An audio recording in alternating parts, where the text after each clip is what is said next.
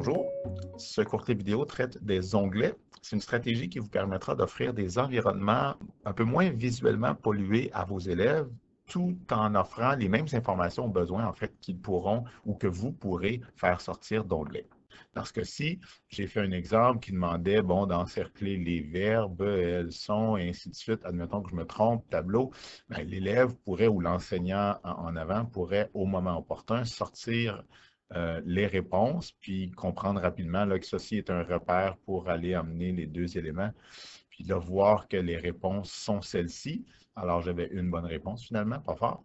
Euh, comment ai-je pu réaliser ce genre de truc? Euh, ben, c'est relativement simple en dégroupant l'élément qui est ici. Alors, celui-ci qui contient à la fois le repère rectangulaire puis les formes, ça, c'est un élément, si j'appuie avec le bouton droit dessus et je dis dissocier, vous allez comprendre qu'il contient en fait plusieurs éléments qui ont été groupés. Une fois qu'ils sont groupés, je peux facilement sortir l'ensemble des éléments à condition que je vois encore au moins une portion d'un des éléments qui a été groupé. Alors, si on recommence le tout en bas ici dans un exemple différent en mathématiques, par exemple, j'ai commencé un petit peu là pour faire en sorte que le clip soit pas trop long. Euh, je vais commencer par faire la réponse. La, consigne ou la question pourrait être de représenter là, la symétrie, la même forme, mais en fonction de l'axe de symétrie qui est là. Alors, je vais utiliser certaines fonctionnalités, inverser gauche-droite. Non, avant, je vais le cloner pour en avoir une copie. Je vais le mettre euh, même endroit et je vais demander de me proposer une inversion gauche-droite je n'aurai qu'à effectuer un déplacement pour être à peu près à la même distance de l'axe de symétrie. Alors voilà, ceci serait la réponse. Moi, je vais associer mon rectangle qui est ici à cette réponse-là.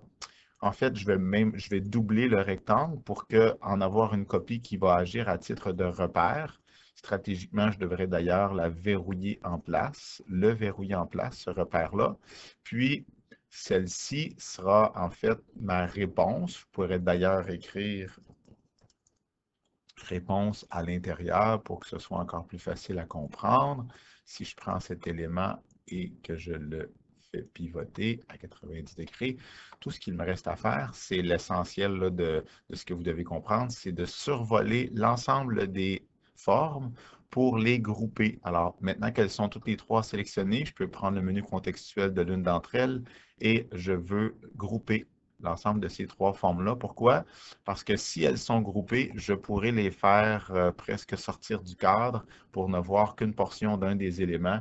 À ce moment-là, je viens de me créer une réponse. L'élève pourrait s'essayer, puis comparer son résultat. Admettons que l'élève euh, fait quelque chose qui n'est pas bon comme ceci, ben, il pourrait comparer, ou l'enseignant en démonstration pourrait comparer, faire sortir la réponse au moment opportun.